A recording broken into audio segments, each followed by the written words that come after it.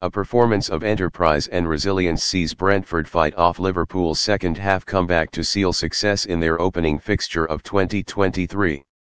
Their first win against the Merseyside club since the 1930s came by virtue of a set-piece barrage before the break and a late strike on the counter, which finally killed off the visitors' hopes. Klopp resorted to a triple change at halftime as his side struggled defensively, but ultimately to no avail, Liverpool lose another away game. Brentford rise to 7th in the Premier League standings before reconvening with previous victims West Ham in the FA Cup at the weekend, while Liverpool are now only one place and two points above their more modest counterparts in the pecking order, they will aim to bounce back by beating Wolves in the Cup next time out. Brentford have never lost a Premier League game in which they've opened the scoring, winning 15 and drawing 4 times.